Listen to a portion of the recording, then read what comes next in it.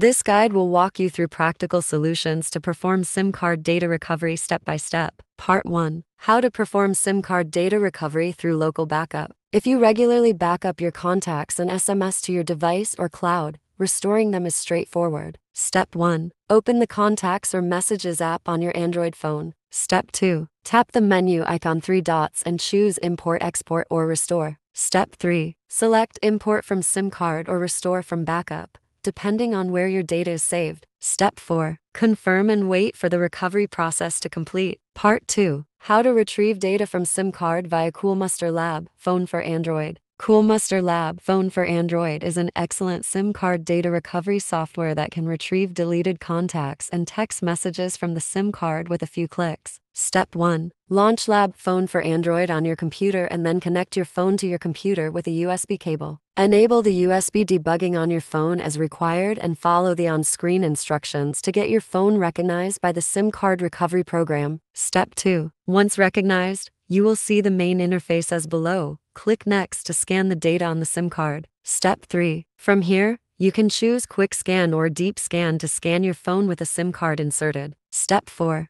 Go to the file type that you want to recover, for example, contacts. The existing and deleted files will be displayed in different colors. You can view and select the lost data you want and then click the Recover button to retrieve them from the SIM card. Part 3 How to do SIM card data recovery by Coolmuster Android SMS plus Contacts Recovery. Another great SIM card recovery app we want to recommend to you is Coolmuster Android SMS plus Contacts Recovery. It is a professional tool that specializes in recovering SMS and contacts from Android internal memory and SIM card. Step 1 Download and launch the software on your computer. Then, Connect your phone to the computer using a USB cable. Follow the steps on the screen to make your phone detectable by the program. Step 2. After connecting successfully, you will see the main interface like below. Select the file type and click Next to start scanning. Step 3. After scanning, you can preview the text messages and contacts on the screen. Select the files you need and click the Recover button to recover them from your SIM card.